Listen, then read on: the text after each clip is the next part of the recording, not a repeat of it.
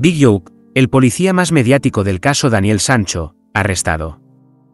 El policía que dirigió la investigación contra Daniel Sancho se ha entregado en una comisaría de Bangkok. Durante muchos meses y dentro del marco del caso Daniel Sancho, Big Joke se convirtió en uno de los policías más conocidos tanto dentro como fuera de nuestras fronteras. Las autoridades tailandesas decidieron que fuera él quien se hiciera cargo del asunto, que sitúa al hijo de Rodolfo Sancho como presunto autor del crimen de Edwin Arrieta. Lo que nadie podía llegar a imaginar es que, un tiempo más tarde, el agente sería investigado e incluso arrestado por estar relacionado con un caso de sobornos, por parte de grupos ilegales de apuestas en línea.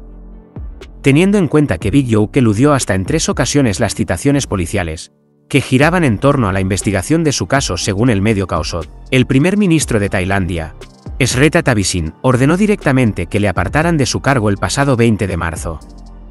Desde ese momento, el expolicía ha estado situado en el ojo del huracán, e incluso el Departamento de la Policía Metropolitana de Bangkok llegaba a pedir que se emitiera una orden de arresto contra él, pues considera que hay pruebas suficientes como para saber que ha cometido un delito vinculado al blanqueo de capital.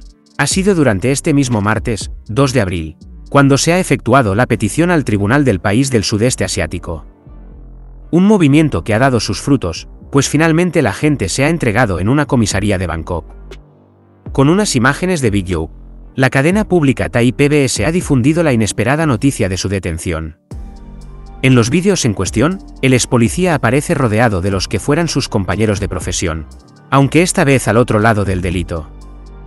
El ex policía pasó de impartir justicia a ser investigado por un supuesto soborno. La pesadilla de Big Joe ante la justicia comenzaba en septiembre. Tan solo un mes después de que el agente se convirtiera en uno de los personajes del momento por el caso Daniel Sancho, su situación daba un giro de 180 grados. El que fuera el número 2 de la policía tailandesa comenzaba a ser investigado, por un supuesto soborno de unos 3,65 millones de euros. De hecho, su casa de Bangkok fue registrada en busca de pruebas relacionadas con un caso en el que se considera que recibió supuestos sobornos por parte de un grupo ilegal de apuestas en Internet horas después de que saltara esta inesperada noticia. Era el propio protagonista quien rompía su silencio para demostrar su verdad. Creo que quienes solicitaron la orden ante el tribunal les engañaron. Pese al revuelo generado, admitió estar tranquilo e incluso llegó a asegurar que no tenía nada que esconder, ya que consideraba que se trataba de un asunto de conflictos internos, por los que se había situado en el ojo del huracán sin merecerlo. Tan solo dos días más tarde, Big Joke daba un giro de 180 grados en su versión y admitía haber pagado de manera recurrente a tres o cuatro periodistas que habían estado a su lado, en los sucesos que sus superiores le habían encomendado. Aún así, también defendió en todo momento su inocencia y aclaró que ninguno de los profesionales de la comunicación estaban vinculados con la corrupción y ni mucho menos les pidió hacer nada específico. Es más, llegó a considerar que tan solo hizo un acto de buena fe, porque sabe que los periodistas no están bien pagados y cree que no se les valora lo suficiente. Cuando los reporteros me acompañaron a cubrir las noticias les di 10.000 baht, unos 259 euros, por su trabajo. Tengo entre 3 y 4 periodistas que trabajan conmigo desde hace mucho tiempo, reconocía. Sea como fuere, lo que está claro es que su situación ante la justicia ha dado un radical giro de 180 grados.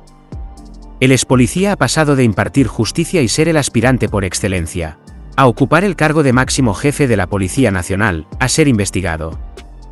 Unas circunstancias que no tienen nada que ver con las que vivía hace unos meses, cuando incluso estaba dispuesto a pedir la pena de muerte para Daniel Sancho, por ser el presunto asesinato de Edwin Arrieta. Ahora, se ha visto obligado incluso a ver cómo su casa era registrada y su palabra puesta en duda, razón por la que no le ha quedado más remedio que entregarse e intentar solucionar el asunto desde dentro, aunque lo tiene difícil para conseguirlo.